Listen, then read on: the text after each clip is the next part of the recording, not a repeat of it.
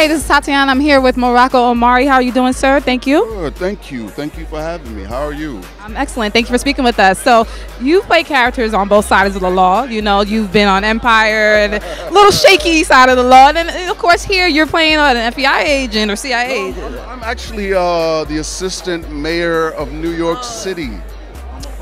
You're a politician. Yeah. Okay, so that you know, politicians, they're always. It's still kind of shaky side of the law.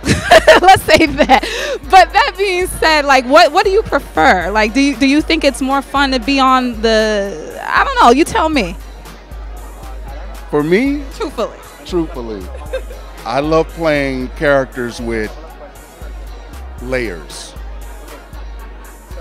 Um, the straight characters that are like, no, this is just me with no No substance. substance. Well, I wouldn't say substance, just you know, it's like we say there's no bad guys, we just make bad decisions.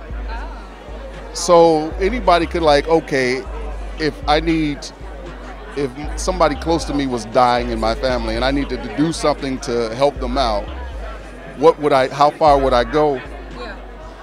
Uh kind of deal. So I like I like I like characters that you have to say is he good or is he bad? I don't know. You know, that makes you think. That has a secret in your eyes. So I like those. I like I like crafting those kind of characters. If they keep you guessing. So more human, non one-dimensional characters, characters that have a lot of life to them. Yeah, yeah, yeah, yeah. Because we all have a bad day. We all have a bad day. We all have a, we all have moments where you know we have road rage or you know stuff like that. So we all have a bad day. Every day isn't always like you know lemonade and rainbows or butterflies. You know what I mean?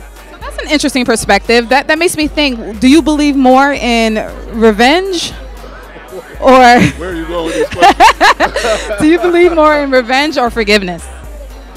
Uh, forgiveness. I mean, I guess when I was younger, yeah, you were just like, I'm mad, yeah, you know. But now it's like, I let things roll off my back, man. I mean, you know what I mean? It, it would have to be somebody like my daughter or something that would, you know, that would make me just lose my cool. But I feel like when somebody makes you upset, then they all thought you. You know what I'm saying? So I'm like, it's cool. You know, I mean, I served in the Marine Corps. I was, I, I've been in the war, so I know what it is. And now I'm just like, I'm chilling, man. I'm having a good time. You know what I'm saying? So, Well, that's important. A lot of people need to hear that. Sometimes it's best to just let it go. Man, let it roll, breathe. Because, you know what I mean? It's like they say, hurt people hurt people. I can't let like, you know, if somebody cuts in front of me, I'm like, go ahead. Brother must have snuck out trying to get home to his woman. You know what I mean? Get that, that glittery lotion up off of him. You know what I mean? Like. Yeah, you know, you got to go take that that quick shower. You know, don't nobody want to go home smelling like motel soap. What network is this? This is for all nerds. Okay. Yeah, we do we do geek and pop culture from people of color. you know, so yeah, so I mean, I just I just let it go, man. You know, I let it go. I have, a, you know, I'm not, you know, I'm good. I'm good, man. I appreciate your honesty. Thank you very much. Thank you.